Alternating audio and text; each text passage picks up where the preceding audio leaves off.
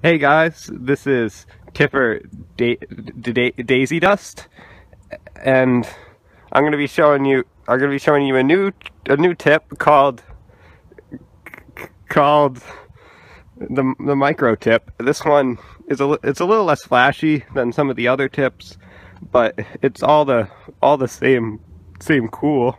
So it's gonna use the the wrist more than the rest of the arm like the classic tip.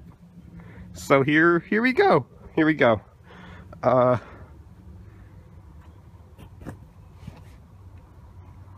let me show that for you again. And that's it. That's the micro tip for you.